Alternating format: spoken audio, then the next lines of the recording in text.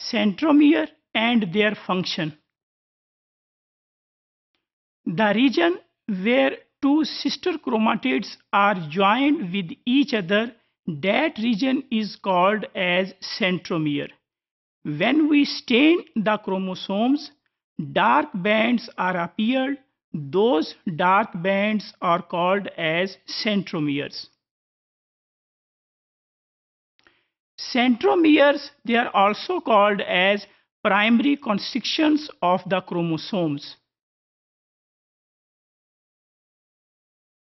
Centromere, they are the essential component of all the eukaryotic chromosomes. Function of the centromere.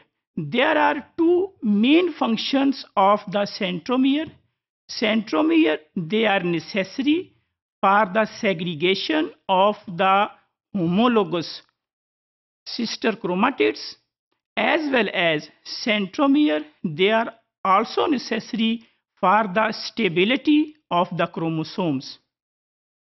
If we see this diagram, there is P arm, this is the P arm, this is the Q arm of the chromosome this is sister chromatid of this chromatid.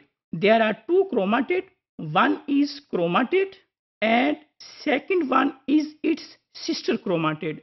So both sister chromatids they are joined with each other at a position. That position is called as centromere. During the process of mitosis, centromere they divide Due to the division of the centromere, the sister chromatids they can separate from each other and they can move to the opposite poles of the cell. During moving of the chromosomes to the opposite pole, it feels that centromere they are heading while remaining part of the chromosome is lagging behind. It seems that the remaining part of the chromosome is being pulled by the centromere. So here if we see the diagram, we can see that centromere are a heading while in case of chromatids they are being pulled by the centromere. Here is the centromere. Centromere is a heading while the remaining part of the chromosome, this is the remaining part of the chromosome that is being pulled by the centromere.